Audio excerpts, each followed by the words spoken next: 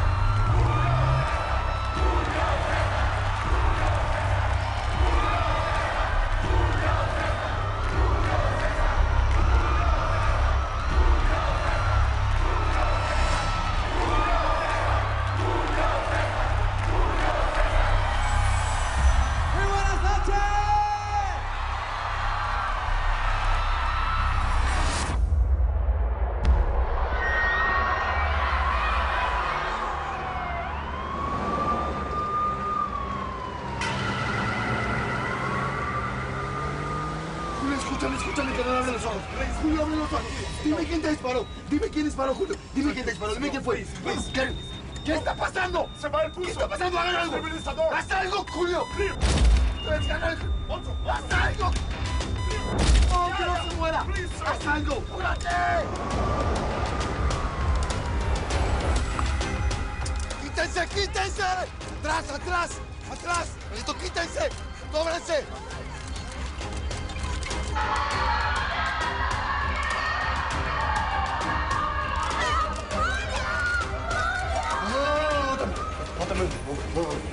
Mira, mira, mira, mira, mira. Ya estamos llegando, ya estamos llegando. No, no, no, no, suéltame.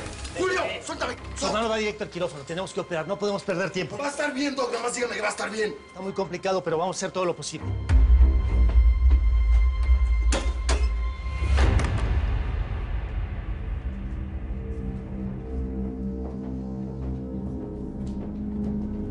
¿Es usted Mateo Solar? Necesitamos su declaración. ¿Sabe quién le disparó a su hermano?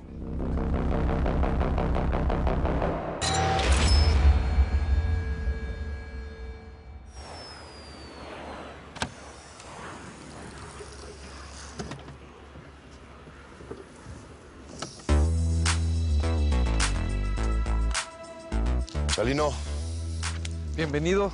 ¿Cómo estuvo el vuelo? Muy bien. Tenemos que pasar a la oficina nada más a recoger dinero. Acá traigo la lupita para que nos libre de todo mal. Arre.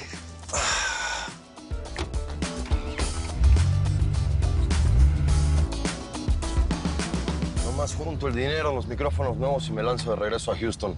Está bueno. El teatro va a estar repleto hoy.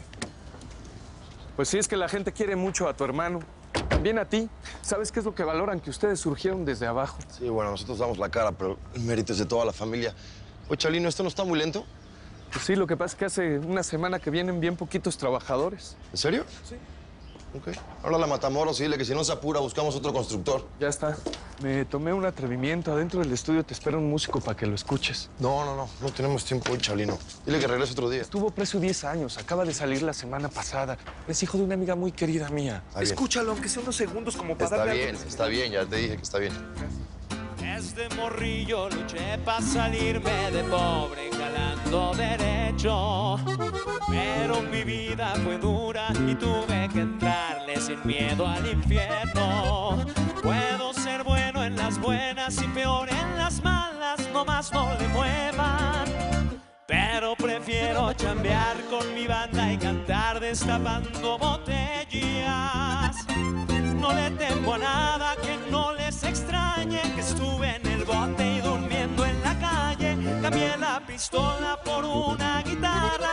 Pero si la buscan no dudo en sacarla. Por ahí se rumora y los plebes me han dicho que soy un ángel con colmillos.